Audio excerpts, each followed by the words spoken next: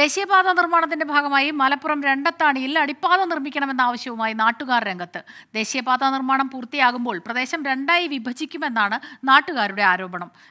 നിലവിൽ ഓവുജ് പാലം ഉള്ളിടത്ത് ചെറിയ വാഹനങ്ങൾക്ക് പോകാൻ കഴിയുന്ന അടിപ്പാത വേണമെന്നാണ് നാട്ടുകാർ ആവശ്യപ്പെടുന്നത്.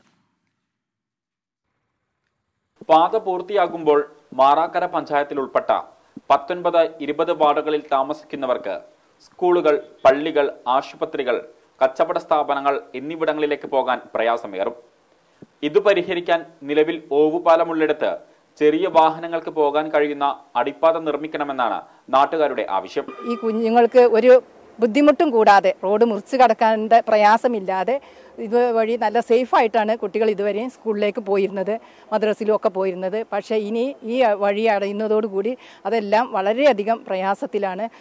കടകൾ ഫുള്ള് ആ ഭാഗത്താണ്.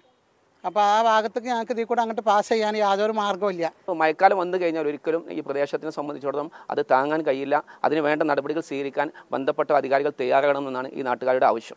പ്രശ്ന പരിഹാരത്തിനായി ദേശീയപാത ഉദ്യോഗസ്ഥരുമായി ജനപ്രതിനിധികൾ ചർച്ച നടത്തിയിരുന്നു.